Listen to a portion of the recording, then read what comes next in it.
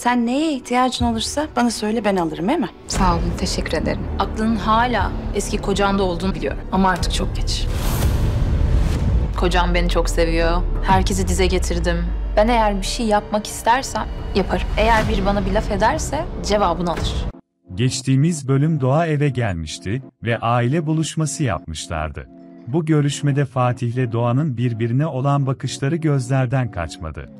Ayrıca aile üyelerinin Doğan'ın üstüne titremesi de cabası oldu. İlk günden Pembe Hanım Görkem'den soğudu haliyle ve Doğa'yı görünce neredeyse boynuna aylayacaktı.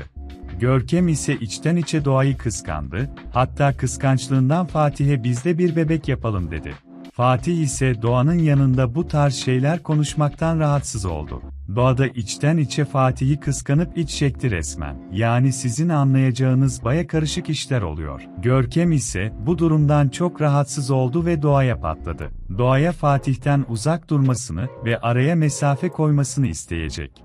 Doğa ise aksine ona inat Fatih'e farklı davranacak. Dizimizde alakalı daha fazla içerik için kanala abone olup takipte kalın. Şimdilik hoşçakalın kendinize iyi bakın.